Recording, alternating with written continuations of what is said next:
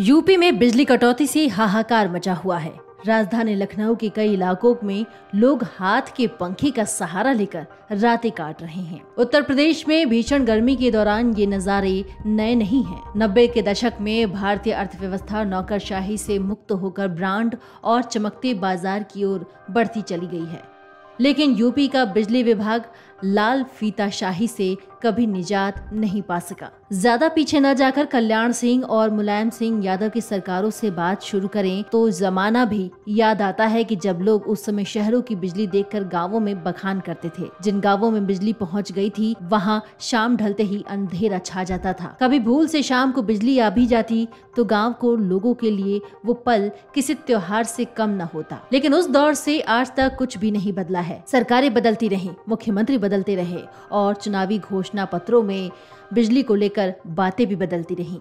लेकिन नहीं बदली तो सिर्फ़ एक बिजली। 21वीं सदी से बिजली को लेकर किए गए वादे उत्तर प्रदेश में नेताओं के लिए बड़ी उपलब्धि है और दिवाली, ईद, होली और नवरात्रि के दौरान बिजली कटौती न किए जाने के ऐलान की खबरें भी आज भी आती हैं। साल दर साल बिजली विभाग की हालत खराब होती चली जा रही है और कुछ साल पहले तो यूपी के गाँवों के लिए एक रोस्टर भी जारी किया गया, जिसमें एक हफ़्ते दिन या एक हफ़्ते रात में बिजली सप्लाई की व्यवस्था की गई है।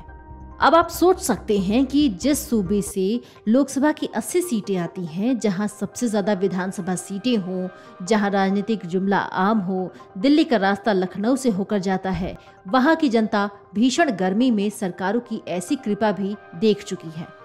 ऐसा नहीं है कि बिजली विभाग गर्मी से निपटने के लिए तैयारी नहीं करता। ये तैयारी बीते 30-35 सालों से हर साल शुरू हो जाती है।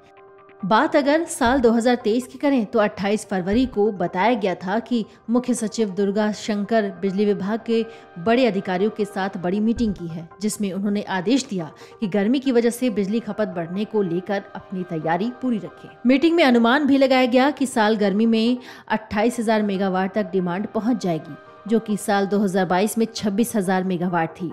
फरवरी में हुई मीटिंग का नतीजा कुछ भी नहीं निकला। भीषण गर्मी को आज जनता झेल रही है। चिलचिलाती धूप में बिजली विभाग के सबसे छोटे कर्मचारी यानी लाइनमैन जगह जगह टूटे हुए तार और फूके हुए ट्रांसफार्मरों को ठीक कर रहे हैं। दरअसल, इस विभाग की सबसे बड़ी समस्या इंफ्रास्ट्रक्चर के अपग्रेडेशन की है।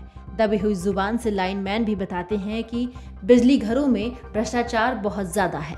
इलाके के जेई को पता होता है कि कहाँ पर तार बदले जाने हैं। लेकिन उसके लिए आया पैसा या तार कहाँ चला जाता है किसी को कुछ पता नहीं होता। यूपी में बिजली कटौती के मुद्दे पर इंडिया पावर फेडरेशन के चेयरमैन शैलेंद्र दुबे ने बताया है कि 27,615 मेगावाट बिजली की डिमांड 14 जून की रात 11 बजे थी जो कि अब तक सबसे ज़्यादा है लेकिन आंकड़ा और भी चौंकाने वाला है। यूपी के साथ एक नहीं कई दुर्भाग्य हैं। इतना बड़ा प्रदेश होने के बावजूद ये राज्य सिर्फ़ 4000 मेगावाट बिजली पैदा करता है और प्राइवेट सेक्टर को मिला दें तो दस हज़ार मेगावाट तक बिजली पैदा होती है, जबकि बाकी सोलह हज़ार मेगावाट बिजली दूसरे राज्यों या एनटीपीसी जैसे संस्थानों से खरीदा जाता है। ओवरलोडिंग इतनी ज़्यादा है कि सिस्टम बार बार बैठ जाता है, जिसकी वजह से बिजली कट जाती है। Video desk Amar Ujala dot com.